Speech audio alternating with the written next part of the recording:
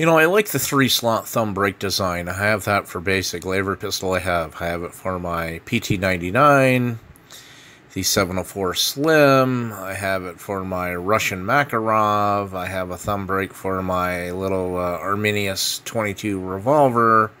Uh, probably my little 25 auto, and uh, I think that's it for pistols that I have these days. So, um, you know, I decided to give Scott Tactical Scorpion a try here. It Doesn't look so bad. I don't know how thick the leather is, but hopefully it's proper thickness and proper quality and things like that. So I guess somewhere in a video I seen watching hundreds of videos on the Taurus G3 that some Glock holsters will fit and others will not. but unfortunately, none of the gun shops here in the locality of Vermont where I'm at have any Glock holsters that I could try. Many of you know I bought the little Kydex holster, not really happy with it. It's not really what was shown depicted in the picture, so I don't know if I'm going to keep it, try to return it, but I do need another holster to carry the G3 for everyday carry, so you know, I bought Tactical Scorpion plates, they seemed okay. So let's, uh, you know, decided to order one of their three slot uh, thumb break hosters. Uh, hopefully it's comparable to my old world and my uh, Bianchi holsters for other uh, firearms. Ordered this thing on a Monday, and here it is three days later. it hasn't been shipped. I sent the seller an email here on eBay. I tried to call them.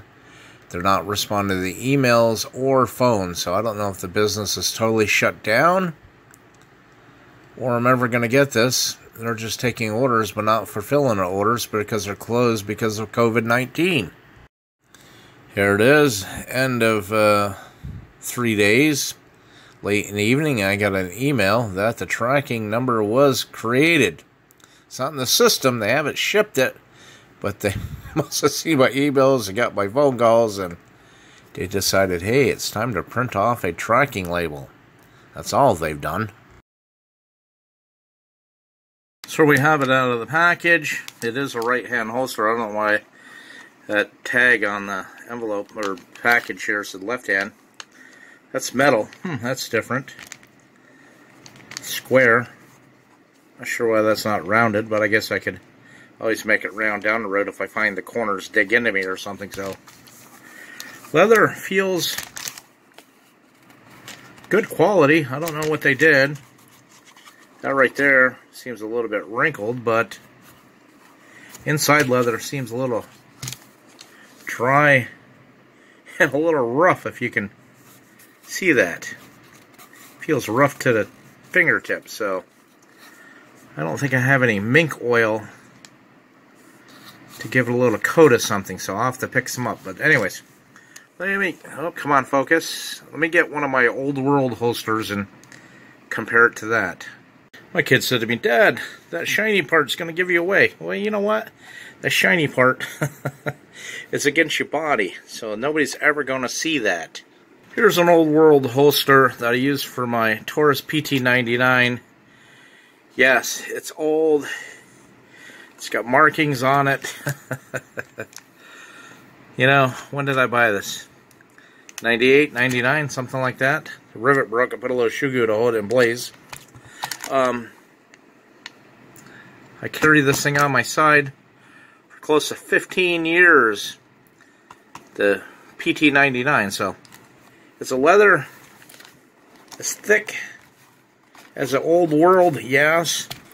Old world seems to be a little bit smoother inside.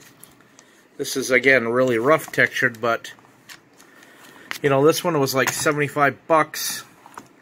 This one's 35, so I guess you get what you pay for, but it's really not that bad. Let me get the uh, pistol and put it into it and see what we do, what we get. Some of you probably like Kydex, but I don't know. I'm not a fan of it, so let me pull that out of there. A Kydex, I don't know if you can see that, putting some gentle scratches on the slide. You know, I'm much more pleased with this one than I am the Kydex. Let's pop this thumb break. Let's give it an upside down shake. Oh, you son of a... Ah. Doesn't want to come out of there. That's good, man. That's awesome. I like that.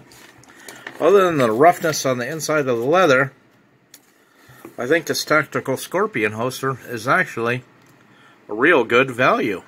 And right here, you can't really tell it's curved like the, Glock, but this side it's a little more pronounced and you can really see why. It's a Glock holster that also the Taurus G3 fits into. They are what? Basically the same dimensions. Not a Glock guy, so I don't know which Glock it was that it fits, but back up here might be a little bit loose, but it rubs on one side, space on the other, so I think for personal retention should be sufficient. Barrel's uh, pretty well protected. Not bad, I am happy.